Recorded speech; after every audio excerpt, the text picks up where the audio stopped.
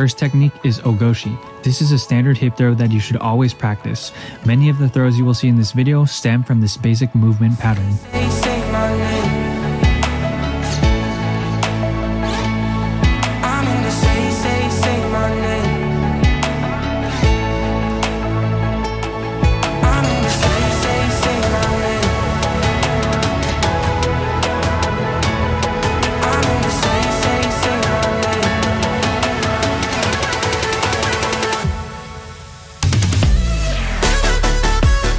The second technique is called Ippon Seonage, and it is basically an arm throw. They have different variations like drop Seonage, where you fall onto your knees, or Morote Seonage, but today I wanted to focus on the standard based movement.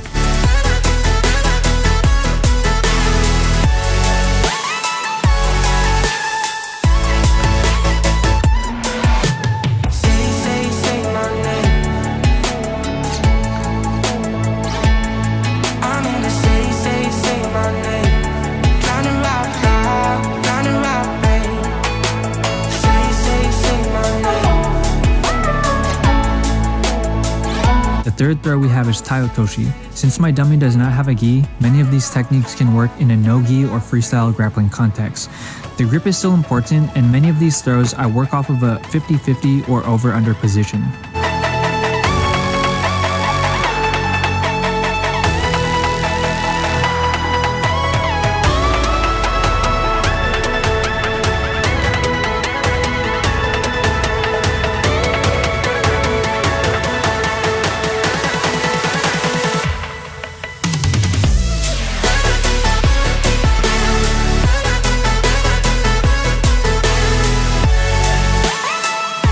Moving on to number 4, we have Hanegoshi. Hanegoshi is basically a hip throw, but you position your far leg against your opponent's leg. Not quite reaping the leg as you would in Uchimata, however.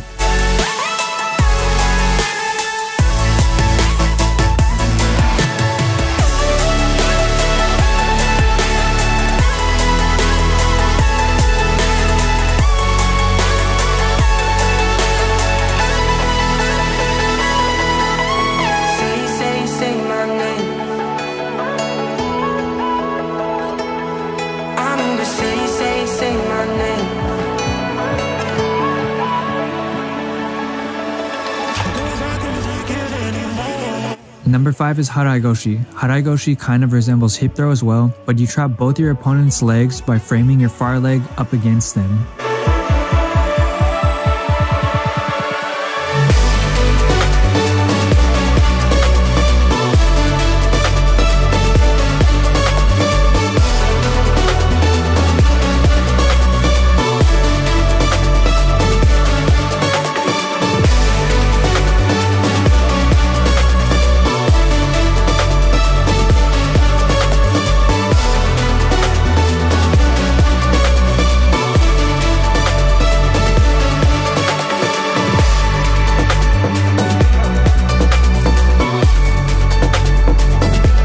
Technique is Osotogari, and it is also one of the most common techniques used by beginner to elite judoka.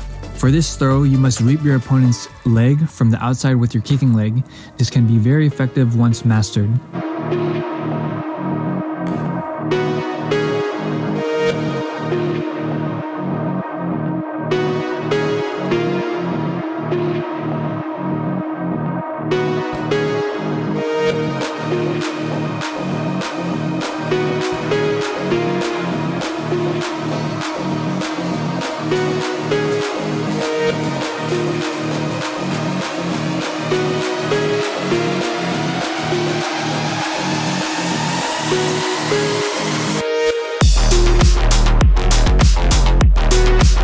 Lucky number 7 on the list is Uchimata, a throw that is used by many famous judoka and champions in Japan. It is a hard technique to master, but once you get the hang of it, it becomes a very effective tool in your arsenal.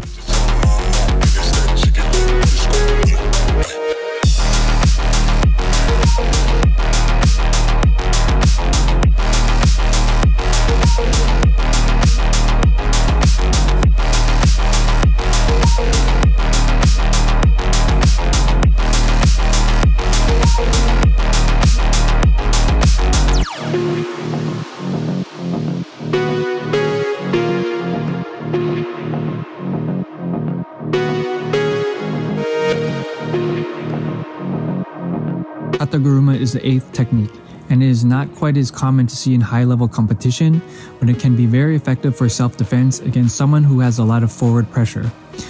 Judo in general is perhaps one of the best martial arts for self defense, as many assailants on the street like to come forward.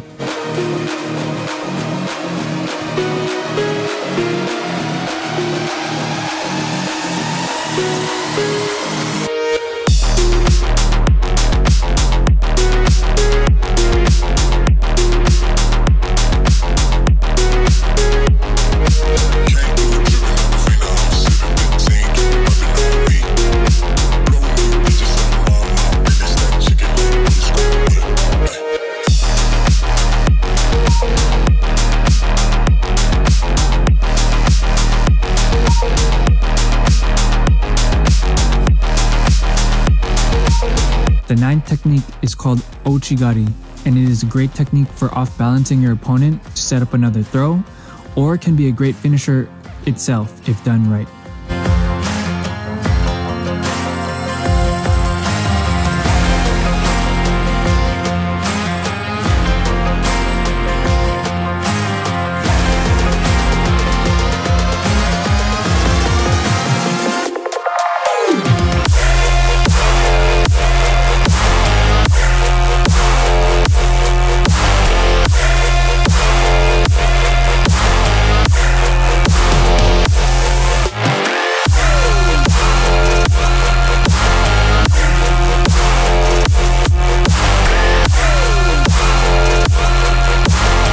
Number 10, Tani Otoshi is one of my favorite techniques as you approach your opponent from a side or rear angle to trip them up. It is beautiful if performed right.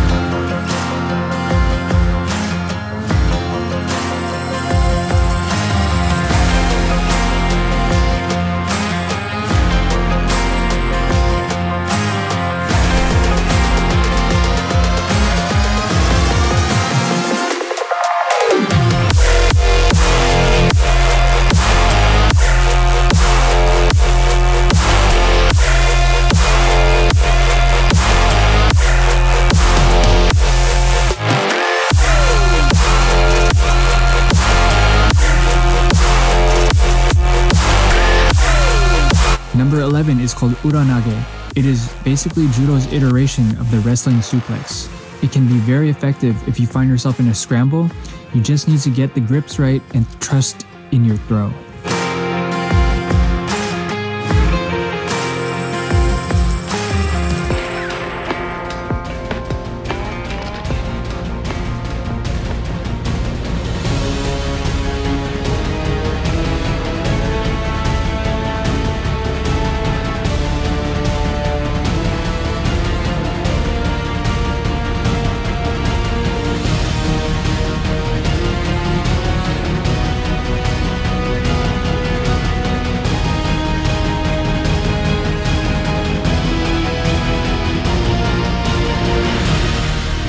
Number 12 is Morote Nage, or the judo version of the Western double leg.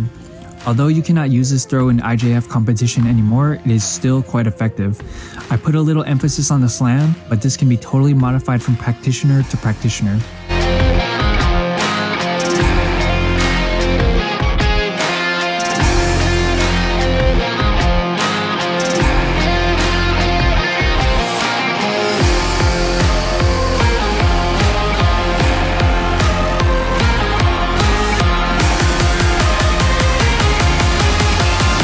Thirteen, we have the blast double.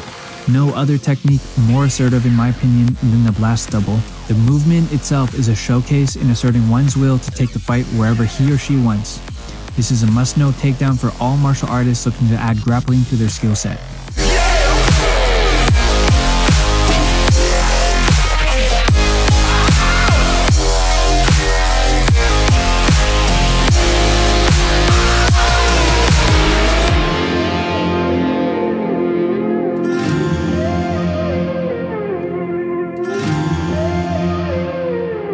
Last technique is Deashibarai, the judo foot sweep. To me, this is the most elegant and most powerful of them all. Very minimal and a low key movement profile, but can literally take down giants. It's all about timing and the angles. I remember where I once swept a sparring partner who was twice as big as me. He was around 6'3, 230 pounds. If you are a serious martial artist, this is one technique you undoubtedly need to practice and have in your skill set.